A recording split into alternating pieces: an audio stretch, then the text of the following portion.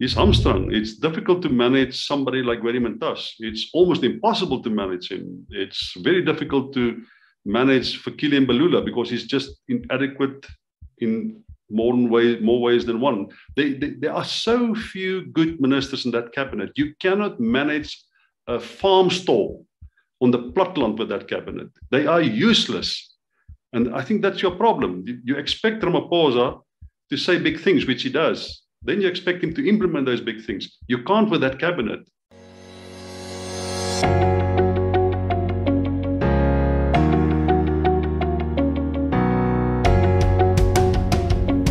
Hello, my name is Donald, and welcome to the number one media company, Worldview. At Worldview, we explore everyone's perspectives on all things that can broaden our worldview. Today, we have with us the outspoken Dr. Pete Croucamp. Piet is a political analyst and a senior lecturer of political studies and international relations at the Northwest University. Pete, welcome. It's so great that we're finally able to have this little chat. Thank you. My pleasure. Pete, so let's start with the Taliban faction in KZN. It appears that the so called RET faction has made a clean sweep at the recent KZN um, uh, KwaZulu Natal ANC conference, and that the RET faction managed to get their people elected to the key positions. How significant is this? Well, it's significant in the context of the fact that uh, KwaZulu Natal has been uh, moving away from the ANC in many ways over the last uh, two or three elections. You'll remember if you look at the results of the local government elections in uh, 2000 and when was it?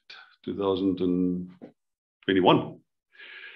Yes. Um, yeah, the, the ANC actually got uh, a, a relative majority in that province no absolute majority. In other words, if that election was a national election, they would have been in opposition benches. Uh, so there is a degree of alienation uh, uh, between the traditional support base of the ANC and the, and the party. Uh, but it's also a province that always presented uh, uh, the elected with alternatives. We had the National Republican, and National Revolutionary Party. We have the IFP. We have a number of other parties which allow people to exercise their votes differently if they don't agree with ANC policies. Uh, but the significance of it is that uh, it will uh, bring the majority or it will the largest uh, number of um, delegates will come to the leadership election. Uh, I am not convinced of the argument that Sihle Zikalala was necessarily a Ramaphosa, um, call it supporter or lieutenant. He certainly wasn't. it was always very difficult to judge who he would support in a leadership election. It's a volatile province. It's a province with a large number of political murders every year that settles the political contest at local government level. It is a, in, a deeply corrupt province. Uh, the National Executive uh, Committee of the ANC in that province, uh, the provincial one, controls the procurement system at provincial level. They controls the procurement system in many local government uh, uh, municipalities it, it is not an easy province to govern. So uh, yes, it's significant in the context that it's an unstable political economy, it's an unstable uh, uh, political system, and it will impact on the ANC. And as you have seen, uh, when the president uh, went there to make a speech, he was uh, very humble, almost sycophantically so. In Afrikaans, they call it a little bit gatkruiperig uh, almost desperately pleading for his political life and uh, fearing that they might uh, humiliate him, uh, really relying on one of his staunchest opponents in uh, Dube not uh, to, to, to, to, to ask of the audience not to offend the president, to remind them that he's actually the president of the ANC. It doesn't sound good to me. And do you think? What do you think of his chances of being elected, re-elected, into at the end at the end of the year? There's no the, the, the ANC's got no alternative yet. Somebody might emerge from the cracks of all the instability. Uh, it's uh, you will hear the name of Lindiwe Sisulu. You will hear the name of um, Mkhize, uh, the former health minister. David Mabuza been in the running a while back. Uh, you will hear Paul Mashatile is interested. Uh, Ronald Lamola is uh, has put his name in the hat, but perhaps as on the side of Ramaphosa, but as a deputy president. But there are no strong candidates, and that's the problem that the so-called RET faction, and I am hesitant to call them the RET faction because I don't think there's enough cohesion and consensus uh, among them, uh, ideological or political, or in terms of a single narrative uh, among them, to really call them a, a unitary unit of, of, political action. But there, there, there is no alternative. And that means that it's quite possible that the leadership election in December will be very, very unstable. Uh, there'll be uh, hard points will be made, uh, vicious arguments will follow, and the real contest will be for the for the other members of the top six: Secretary General, the leader of the party, the Treasury General, etc.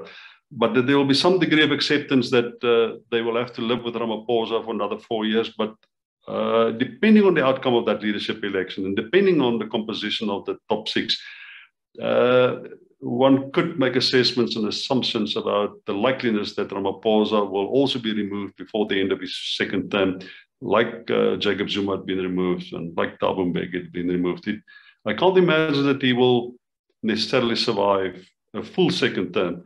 Well, if the ANC get an absolute majority, which means they have to go into coalition with other parties, things can change. And if they don't manage to put together a coalition and opposition parties put together a coalition and they elect a president from amongst their members in the National Assembly, well, then things obviously look a lot different.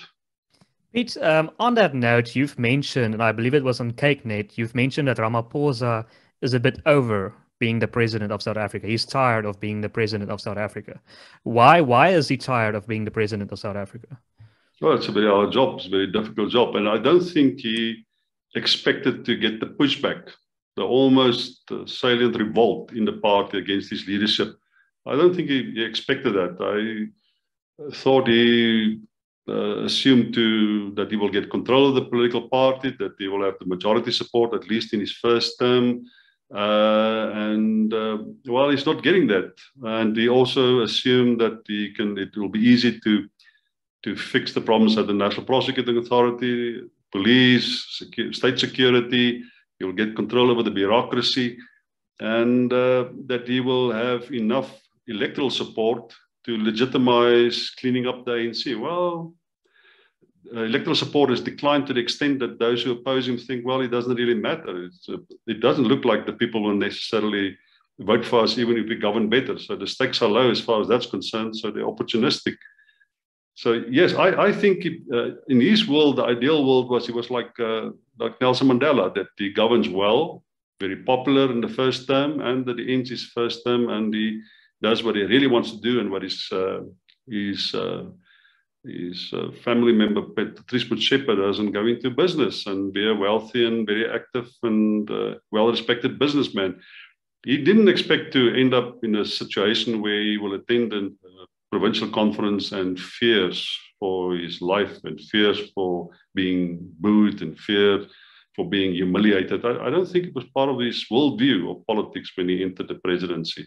He certainly didn't think that he has this massive moral uh, obligation to fix South Africa. It's going to be hard and a hard slog, and he will have to take the pain, and it will be uh, he'll be humiliated, he'll be contested, his views will be undermined, but eventually he will uh, survive it all, and he will put South Africa uh, on a, on, a, on, a, different trajectory towards socio-economic stability. I don't think he, he had that in mind.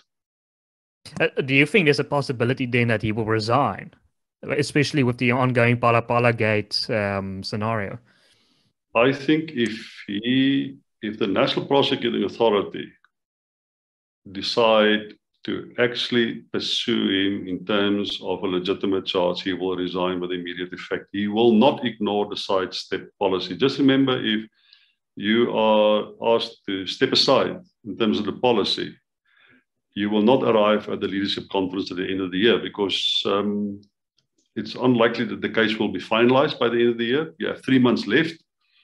Uh, and uh, you can't compete on the basis that you are charged and that hopefully the charges, the, matter will be settled before the conference and you can arrive there and you think you can win election. He will step aside. I, I have no doubt that he will comply with the, the, the, the, the line that is drawn in the sand for everybody else that uh, you have to step aside because it, it, that policy is strongly associated with him.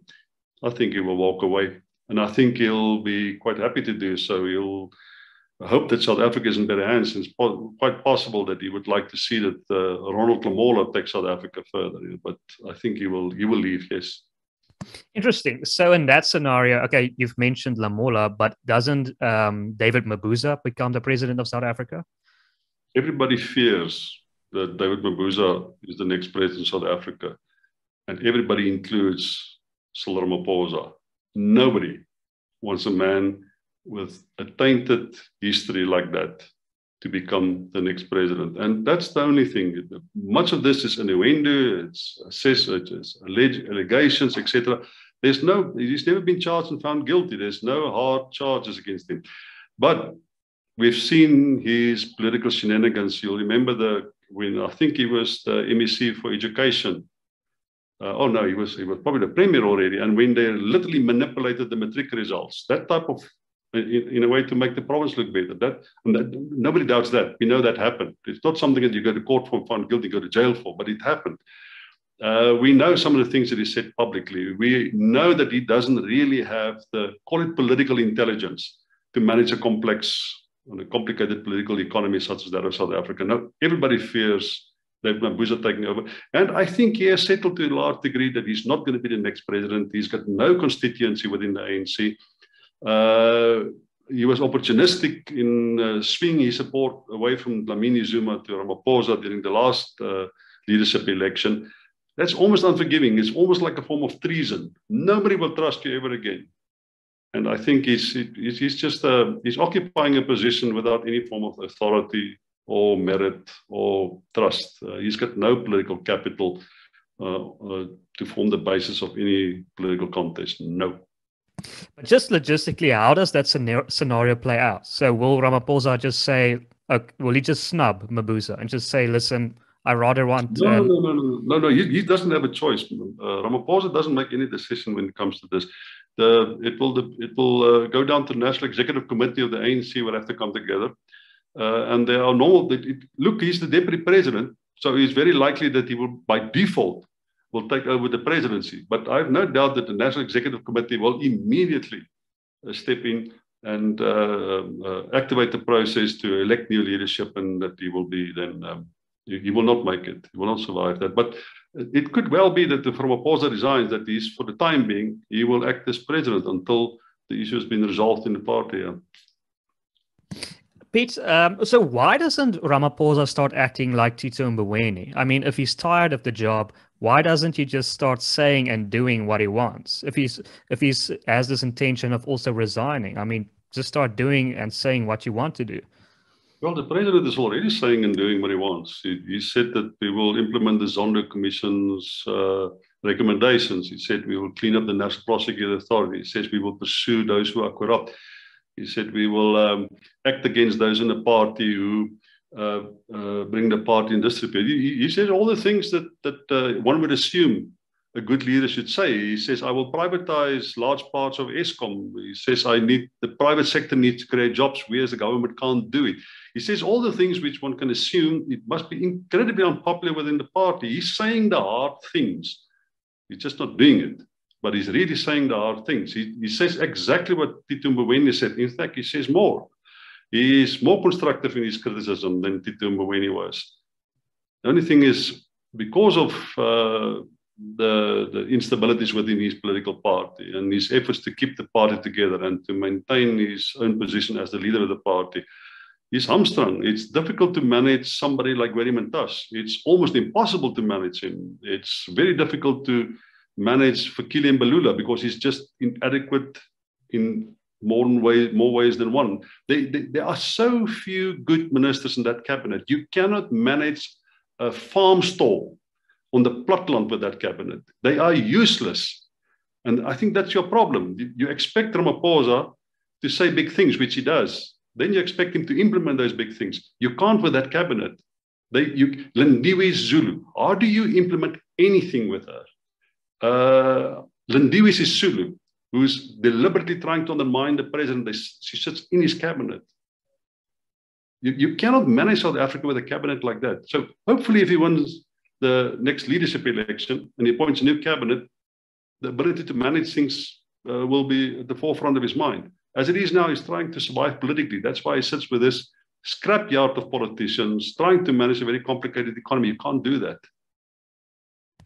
Pete, um, we've recently spoken to John Steenhuisen, and of course, the leader of the Democratic Alliance, and he says there's a possibility, he believes, that the ANC will split into two factions, two parties by the end of the year. What do you think is the chances of that happening, that the ANC will split into two parties? Look, uh, as long as I can remember, uh, opposition parties and the commentariat says that the ANC will split, and they still haven't split. Uh, the 10% support that uh, uh, Mosweu Lekota got uh, as a consequence of the resignation of uh, Thabo Mbeki is not a split, and uh, Bantu Lemisa's breakaway is not a split. That's just splinter faction finding other ways to do uh, to make politics. So the, if you say they're going to split, uh, what will these two camps look like? Just remember the, the big battle in KwaZulu-Natal in South Africa is, is it's not necessarily for political power. It's for political power to control the procurement process. It's for political power to get access to the treasury, to get access to the resources of the state. Remember, the ANC is embedded in corruptness. It's thoroughly corrupt. Everybody in the party is desperately seeking access to the system to extract the resources of the state and spend it themselves and their own families and the patronage system. Um, so if you split away, it's dark and lonely out there. You have nothing to distribute. You know, you have nothing to dispense. How, first of all, you must get a support base. Then the people working for you must, in some other way, find the benefit of splitting away from a party which gave them access to the benefits of the state. That's why nobody breaks away. That's why COSATU doesn't break away. The Communist Party doesn't break away because you actually suspend your access to the benefits of the treasury in South Africa, of the resources of the state. So, will there be a split? As long as I can remember, they say that. Will there be a faction breaking away? It's quite possible. But who will it be? It can't be Lindiwe Sisulu. It will not be Ace Magashule. Uh, you cannot break away just one province. Uh, can't be Zweli Mkhize. Where will this split come from? I think politicians say these things without thinking twice, without having to explain it. I hope you're asking, how will this permeate? How will it evolve? How will it develop? Who will these factions be? What will drive them and what will feed them to survive politically, thereafter and economically? Because that's how you can make an assessment of the sustainability of a split and the likeliness of such a split. I think it's just nonsense that they talk. It's, it's very unlikely. There might be a splinter group breaking away, but a split in the party, nonsense. On that note, do you think then if the ANC loses power in 2024, then there will be a split because there's That's no more possible there is no That's more funds to distribute, they will be split in. Exactly. Exactly. That's possible. Because then one split might think that they could regain power again if they sanitize them from the stigma of the other one. That might well be possible that call it the, the Ramaphosa faction if you wish. Would say, well, the only way to regain power again, to get the elected to vote for us again, we must get rid of Ace and Zweli Mkhize, and they will break away as a faction. That, that, that's possible. It's theoretical, but it's possible. But that is if you if the, the stakes are completely different from what it is now. What do you think of Thabo Mbeki's recent um, uitlating, a speech where he uh, castrated the ANC that they're not doing enough at uh, Jessie Duarte's funeral? Look, uh, his relationship with with, uh, with Ramaphosa was never a really uh, particularly good one. And one of uh, the, the, the, the, advisors, the good friend of Thabo Mbeki, recently said to me that Ramaphosa actually approached uh, Mbeki and said, listen, uh, I thank you for the support you give me in the National Executive Committee because Ramaphosa does, a, uh, Mbeki does a lot there to support the case of Ramaphosa. And Joel Netshitenzhe also helps. Uh, so thank you for all that support, but I might need you to get closer to the fire when it comes to implementing decisions. Uh, would you mind considering a position in my cabinet? Mbeki said, no, thank you. But that's the, that's the length that Ramaphosa is willing to go. Just think of the mindset that comes up with that idea. And obviously, uh, Mbeki wasn't interested. But their relationship has always been, it's a little bit fraught. Just remember that Mbeki actively undermined both Mandela and Ramaphosa, which led to him becoming president by influencing the executive committee of the ANC. So the, the relationship has never been good. But that's the one thing. The other thing is that uh, Mbeki thinks of himself as I make things happen. I can make things. I can. I, I can run the economy. I've done so. The South African economy grew at five percent. It was uh, uh, the debt rates was extremely low. Interest rates were low. Unemployment was was much higher, much better than now. So I can run a complicated economy. And he looks at uh, Ramaphosa and he says, "Nice guy, but can't do the job." And I think partially is his uh, feeling of being uh, superior. Partly it's a bit of a competition. At last, there's another good guy because remember, we had so many bad guys in the meantime. He competes with this guy because he himself has been labeled as a bad guy within his own party eventually. But also, I think he's um, maybe he's concerned about where South Africa is heading. Maybe there's enough people around him who says to him, listen, unless we do something desperately quickly, we, we will have nothing. We will have the ash heaps of this country to negotiate the future on. Maybe he's concerned about it, but it's easy to be concerned because he's exactly right. Nothing has happened as far as this national consensus, this coalition of ideas that the president talked about. All the things that he mentions now, it's just bullshit, it's nonsense. It, nothing of that happened. Maybe it was it was mentioned somewhere. Maybe there was a meeting. But this pact there's no architecture to this pact. There's no agreement. There's no single discourse. There's never been any serious discussions about a pact that will form the basis of new policy for South Africa, new agreements between state capital and labor. And by the way, we already have NEDLAC. Why does NEDLAC not know about all this if there was this pact already?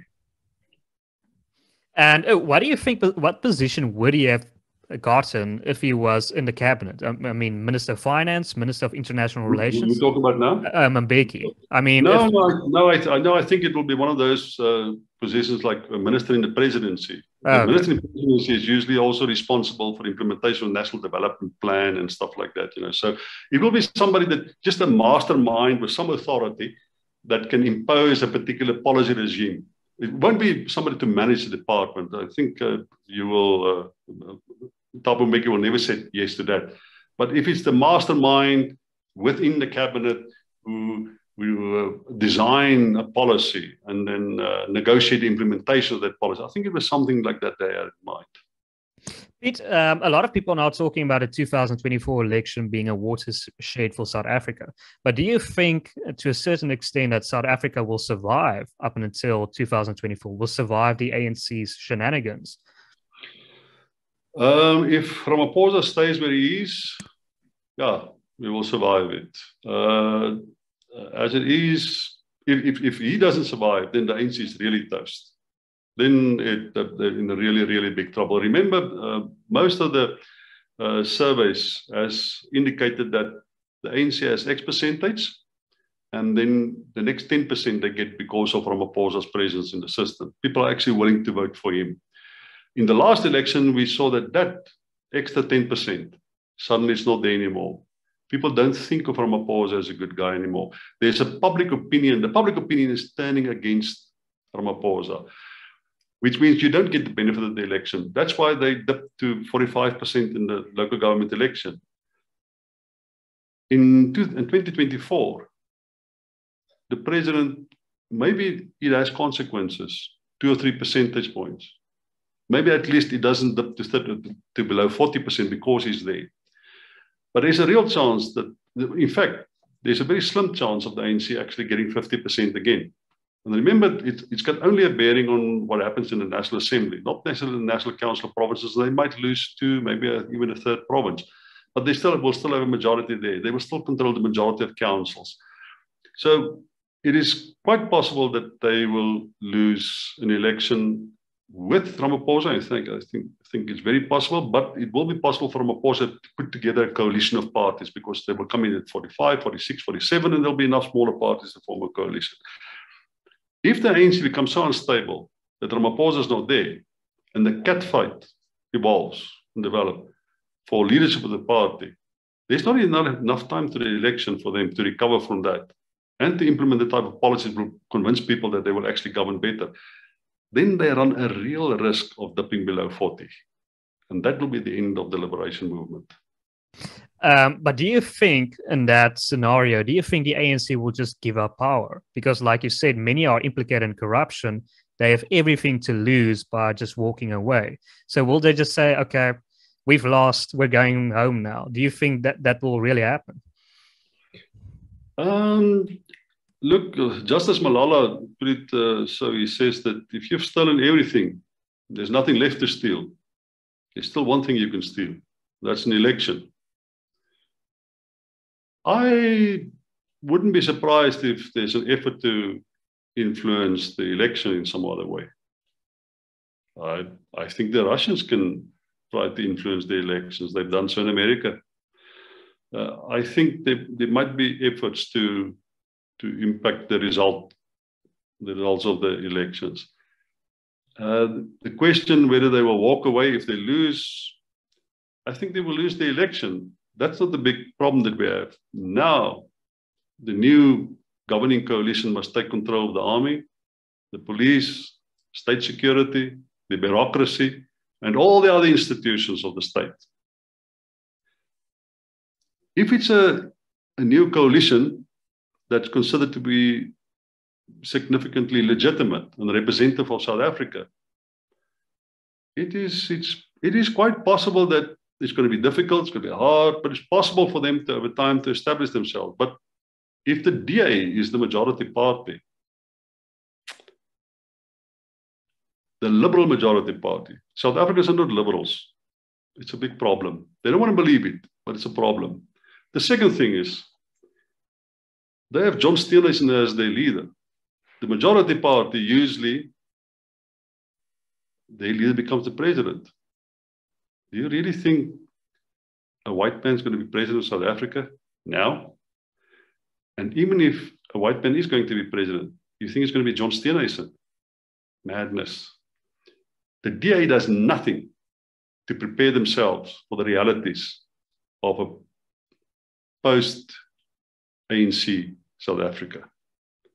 You cannot arrive in the National Assembly having to elect a new president in a coalition from amongst the members of the National Assembly, and you stand up and you suggest John Steenhuisen. It's ridiculous. It's not going to happen. Which means, unless the DA is willing to reform themselves, the likeliness of the ANC putting together a coalition increases exponentially. Because eventually, it will not be possible for the DA to put together a coalition. Not because the ANC has a better opportunity to put or are better suited to put together one, but if the DA can't put together one, then the ANC mm. could uh, by because remember they have the resources, they control the state, they control the procurement system. They can make all sorts of ridiculous promises to members of opposition parties. Now the relationship between the EFF and the, the ANC is rock bottom. It's in the pits. It's it's non-existent. They hate each other until they all uh, are in search for the elusive or the elusive search for power. Then suddenly politicians can go into all sorts of agreements. You'll remember that Herman Mashaba had an agreement with the EFF in Johannesburg. They don't sound like they're bedmates politically, ideolo- ideologically, in terms of their own histories. But Herman Mashaba and Julius Malema met each other at Julius at uh, Winnie Mandela's house. They're friends. They were mutual friends of Winnie Mandela. That's why they worked together so well in Johannesburg. The only thing is, the very first thing that the EFF did is they went after the procurement system and all sorts of populist policies. And because they were part of a coalition, that if you can't maintain the coalition, you will lose power completely. Herman Mashaba was helped by the short and curlies, and it had consequences. So the, EF, the ANC don't want to go into a coalition with the EFF because you can't win. The DA refused to go into a coalition with the EFF. So you will have to set yourself up to be acceptable to a whole range of other political parties. John Steenhuisen is not going to be a leader in that coalition. But Pete, do you think a majority of South Africans still care whether the president has a white face or a black face? Yeah. Yeah, they do. And and you base that on opinion polling, or I, am just curious. Yeah, it's, it's it, it, it, First of all, John Steenhuisen is a liberal. He's an offensive type of liberal. He's not a compromising liberal. He's not a liberal that you can go into pacts and agreements with. He's hardcore liberal. Uh, his political style is offensive. His tone of voice when he speaks to people is offensive.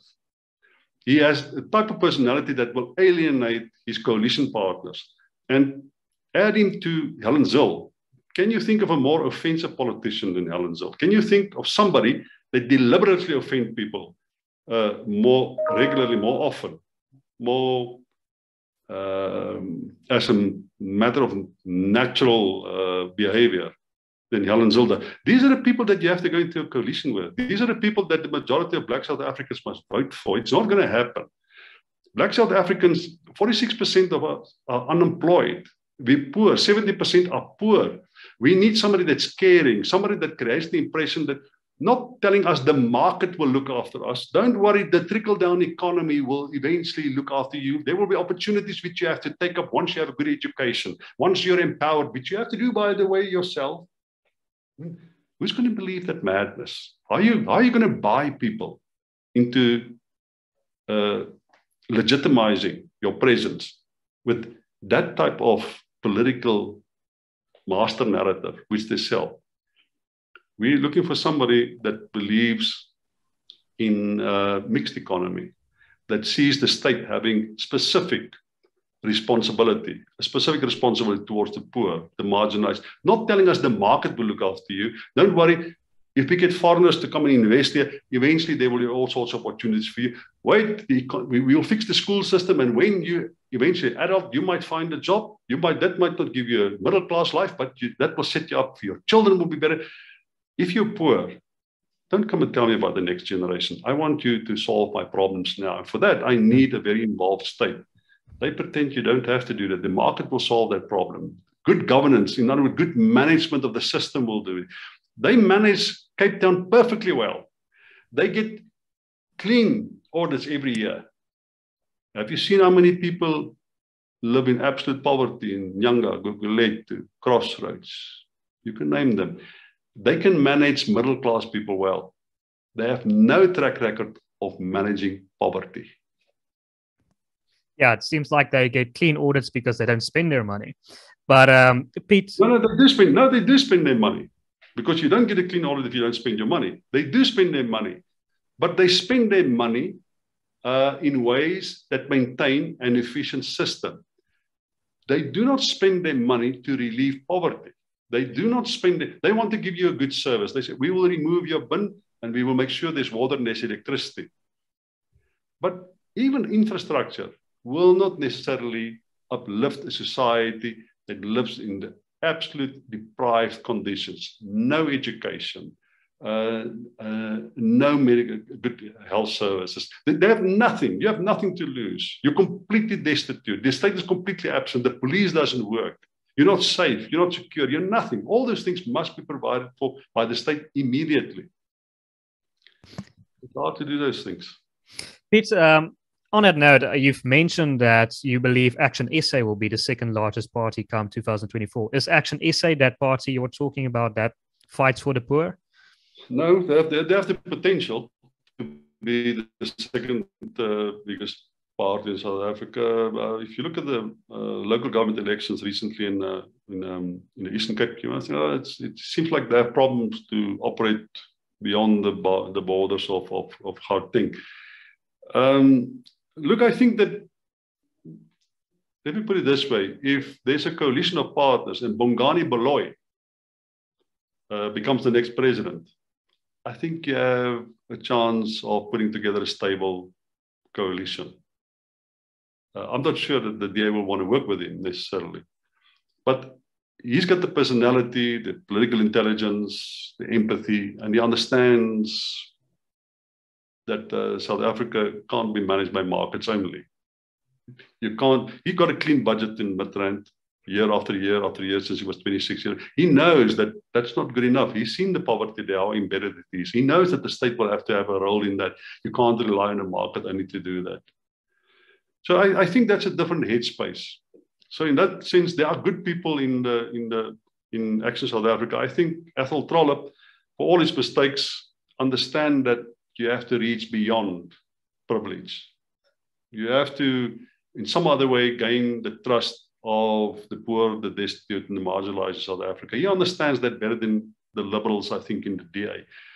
But it's it's still they battle to get beyond. Uh, I think they've done well in Soweto. I think they might become the, the biggest party. It's possible for them to become the biggest party in Soweto. They've done well in Parkhurst in that super high upper class white area in Johannesburg. So it seems like they they gain traction across different constituencies. They got some support even from the EFF, some support from the ANC, and definitely some support from the DA uh, during the last election.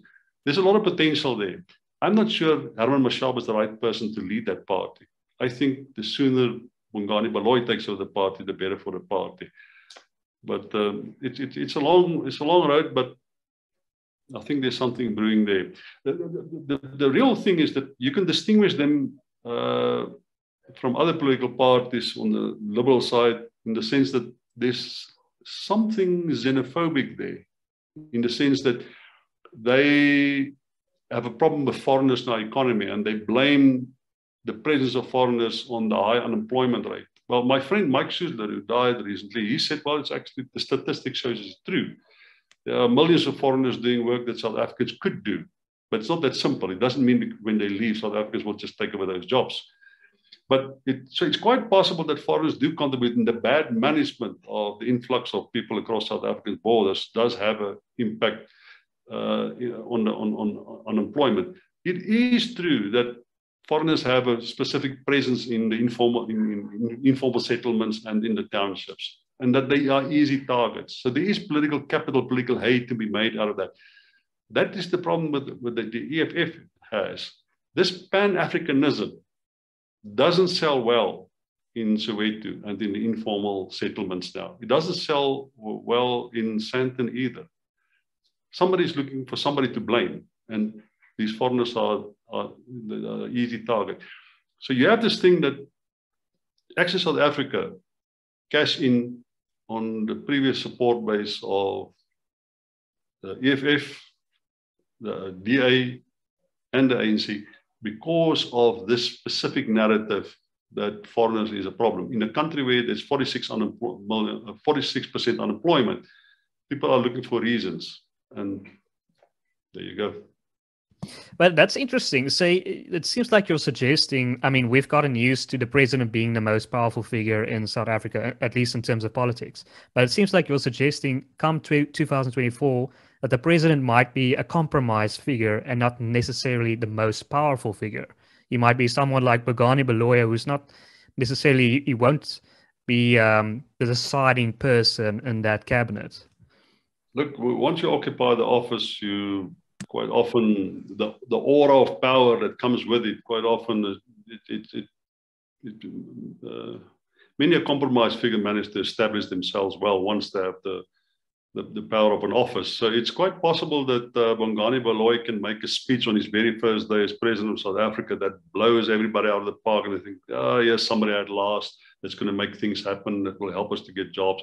It's possible that he can make a speech like that and that people can buy into it and give him some time. The same, that's how Ramaphosa, when he became uh, the ANC leader and eventually the president, his very first speech was so impressive. I wrote a story about we, we're back on track. We're heading in the right direction. And well, how wrong I've been. So it's quite possible to, with the power of that office, that uh, that he can uh, find some room to, to to to to maintain his presence for a while. But you have to do it uh, during an election is again next election, local government elections, provincial elections, you have to repeat. Uh, and you, you, have to actually fulfill your promises. We live in a society where, if you, if you think about it, only 14% of the eligible vote in South Africa voted for the ANC in the last election. They govern South Africa with 14% of the eligible vote. You can't maintain that. You can't sustain that. Baloyi will have to do something about this electoral support. The Action South Africa will have to do about electoral support. And the other thing is, just remember, if you're part of the DA, just be very careful for the identity of the DA. the DA's identity is one of that battle to uh, to keep its black leadership that is become reactionary in terms of its liberal values, that has very little empathy for the case of the poor, except for explaining that they will govern better. It's not enough. It's not enough. So um, Action South Africa may just find that the DA is not the best political partner that you can have if you want to uh, impose the, the, the, notion that the liberation movement is gone and liberal democracy will do the good things for you now. Why do you think um, Mashaba is not the person to be the next president of South Africa? Why Bongani Baloyi and not Herman Mashaba? Um, I just think he's a more polished politician He's a more he, he, he's got he actually managed something really well. Midrand. It's just a just a town council, but he managed it well. Uh, there's no evidence that Johannesburg was any better off when Mashaba managed it, and it largely due, uh, due to the coalition government that they've been with in the EFF in. But uh, Johannesburg wasn't a better place. In fact, we pay, suddenly paid more taxes. The 6,000 liters of water that the ANC gave me, they took away from me. I had to pay now for it, that, that benefit that we had. So uh, now the, the, the DA is now governing uh, Johannesburg in a coalition. Uh, they have just, uh, together with uh, some provincial managers, they have just increased the rates and taxes of schools, almost suffocating private schools in Johannesburg now. You, you can't pay. The, I talk about private schools that had a rates and taxes bill of 6,000 Rand that now goes to 30,000 Rand. One private school told me they will have to fire at least two teachers to pay their rates and taxes bill. That's under the management of the DA. So the DA doesn't have a good track record of managing Johannesburg. Aaron Mashaba has no record of, of good track record in Johannesburg. Uh, he sells the idea that works now that foreigners are taking the job opportunities of South Africans. That that's what he's mostly known for. And the fact that he's a capitalist and that he was a member of the Free Market Foundation, which is hardcore capitalists. They libertarians. They're not even capitalists. They're libertarians. They are right-wing capitalists. He's not a good sale in terms of elections. Bongani Baloyi is something different. That's an interesting term, a right-wing capitalist. Um, exactly. Pete, um, what do you think the DA needs to do to become electable again in your eyes? What's the process they need to go through? They must uh, design policies that will speak to the lived experiences of the majority of South Africans. They must be careful for the idea that you can design policies which you think will work and then impose it on society. Policy must be the result of the urges and the needs and the consensus that you unearth from within society. The ANC has uh, has neglected that responsibility. The DA don't think it's their responsibility. They think we can, if we design a system that we can manage well, we can impose it on society. You, you can't do that. People are not looking for a system that manages them well. They're looking for a system which allows them to live a decent life, to give them their dignity back, to give them jobs, give them opportunities. And a liberal system being imposed on him, a free market system being imposed on him, telling them that your generation will not necessarily benefit. But if you just comply, the next generation will see the reward. We will build you demographic dividend over time, and it will be uh, then we dispense from the one generation or by the one generation and move on to the next generation. It, it, it doesn't work in the short term. It doesn't work for people. And I think that that's a DA's problem uh, they have this, this superiority about understanding everything, having the successful narrative. We just buy into what is good in Western Europe and American free market society. Look, look, low uh, inflation, low unemployment, well governed societies, open economies. And they think you can superimpose that on South Africa and uh, people will vote for you.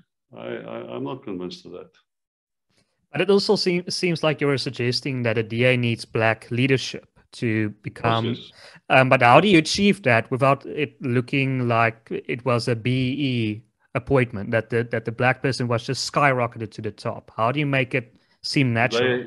They, they had wonderful leadership that was not BE leadership. They had Bongani Baloyi, they had Lindiwe Sisulu, there's a whole Mbali Ntuli. They had wonderful leadership. None of them had been BE appointed. None of them has been put in a position just because they're black. And what did they do? They alienated them, deliberately so, by uh, by bringing in a stormtrooper like Helen Zille and somebody like John Steenhuisen, who sought to impose a liberal type of system uh, which is devoid of any form of empathy, which doesn't want to uh, see policy as the result of a compromise, but rather something that you design like an architecture. You sit in a room and you design what you think is best, and then you impose it on, on the party, impose it in South Africa. They will deny that they do that. They will tell you how democratic they are, that they have regular conferences. But why didn't you try to oppose or reject Helen Zille? Why didn't you try to try Mazzone, Natasha Mazzone? Why didn't you try to disagree with her? They're all the same. They're all the same. They think they know what's good. They have the wrong headspace, the wrong mindset for reaching compromises with other demographics. I can understand why black South Africans will not vote for the DA. I can understand why it's hard for them to keep their leadership, their black leadership. They alienate them. And do you think the star has waned for a party like the EFF, that they've reached this ceiling and they're not going to go beyond it, or they're going to st- slowly start to drop?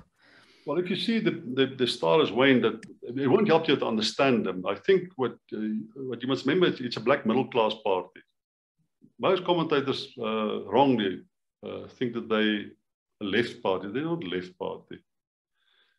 They most of their support base come from young and middle class people, and half of their support base work for government, and the other half work in the private sector. And um, the reason why they find it difficult to move to the next level is simply because there are limitations to the black middle class. The black middle class, they used to be around about 6 million. There's a rapid decline in the black middle class. Much the same as in America, data has shown that in South Africa, if your parents are middle class, that demographic dividend, that benefit is not necessarily passed on to you. In other words, your children is not better. You remember when we were young, you young as it is, but my, my grandparents were poor, my parents were better off, they worked for government. I work for the private sector and my children will be much better off. So every, every generation is better than the previous generation. Uh, if you're black in South Africa, because of the way that the system is structured, because of the ideals of the free market economy, and the trickle down economy, it's quite often hard to maintain that middle class uh, uh, capacities that you develop. But that's the problem that the EFF has. There's natural limits. And then the other thing is 90% of the youth support base are just not registered. It's the same worldwide young people do not register because you only start participating, participating active in politics if you have something to lose. If you have a house, if you have a bond, if you have a car payment, if you have rates and taxes, then you have a vested interest in politics. Then you start to participate. People, 19-year-old uh, people, I don't think 25% of them are registered to vote. That's where the, the, the, the EFF has their support base.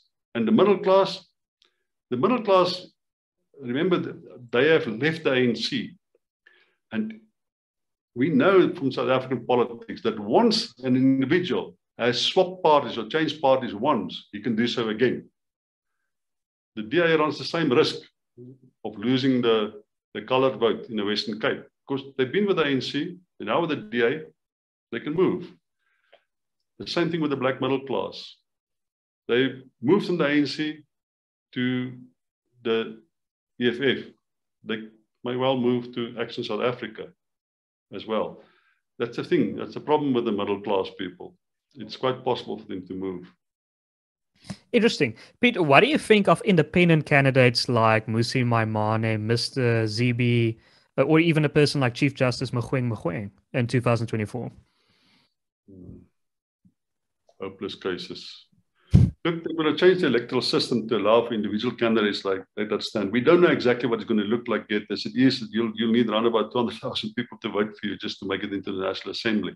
But th- that system hasn't really been agreed on, so we, we don't know what will be the result there.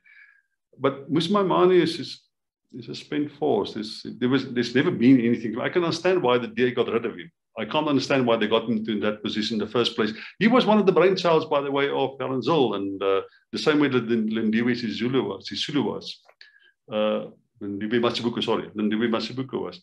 It, it, it, it, people are forced into systems at a very young age. By the way, Lindiwe Mazibuko was known in Parliament for not exactly doing the hard miles, but uh, loving to make speeches. Uh, that's when you put somebody into a position without putting somebody through the drills in the ranks of junior positions necessarily. But um, yeah, I, I, don't see a future much for, for independent candidates. Uh, even at local government level, they battle. You get a sprinkle of them here and there, but it's hard if you don't have a political party with an architecture, administrative architecture, without financial support. It's very hard to make it in politics to convince people to vote for you. You must be very charismatic, like a preacher could make a bit of a dent. You know, somebody that already has some standing in society. It's not going to be my money. It's, I, I, Mogoeng is a, is a, he's, he's nothing. He's got no support base. He's, he's a joke. You, you can't believe the things that he says. He's got a church. Maybe the church will vote for him. I mean, isn't there also a law? Someone has told me there's there's a law that um, doesn't allow a judge to run for president to seek higher office. Well, I, I, can't imagine it has ever happened. But first of all, if he does that, he will, of course, lose his privileges as a judge, and he's got lifelong privileges. So it'll be very stupid if he does that. He gets a massive salary for as long as he lives, medical aid, pension fund, car, whatever, administrative personnel. Why, why would he give all that up? So it, it, it sounds rather ridiculous to do that in the first place. But the madness comes easily to Mogoeng Mogoeng sometimes. It's quite possible. Some of the things he said is just weird. So it, it's possible that he, will, he can uh, envisage or pursue something like that. Uh, I don't know if there's a law that says they're not allowed to do that. I just know he will certainly lose all the privileges of a judge if he does that. Well, Pete, um, that's all the questions I have. Thank you so much for your wise analysis. I want to give you one last opportunity if you want to say something to our audience or, or just answer a question that you'd hope I'd ask you. Um, when I, in the last election, I decided not to vote. I know I live in the wrong area. If I lived in Soweto, uh, it would have been different. But that's the ironic irony of South African politics. Because people decided not to vote in the last election, we got the ANC under 50%. No single political party has managed that. It was because some of us decided not to vote. With that in your pipe and smoke it if you think about coalitions and politics of South Africa in the future. But thanks for asking. Nice to talk to you.